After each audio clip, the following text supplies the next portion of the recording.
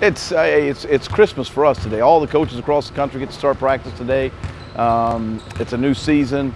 Uh, it's that time of year where you get to see what uh, all your plans and ideas, what will work, what won't work, what adjustments you need to make, uh, just how much your kids are ready to, uh, to compete, um, how much your kids are ready to go. It's, it's, it's an exciting day.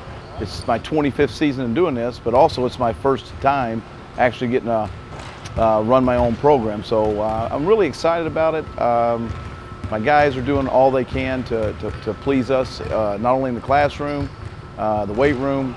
Um, uh, it's, a, it's a good group of kids that I have assembled right now, and, and uh, we're looking forward to, to getting started today.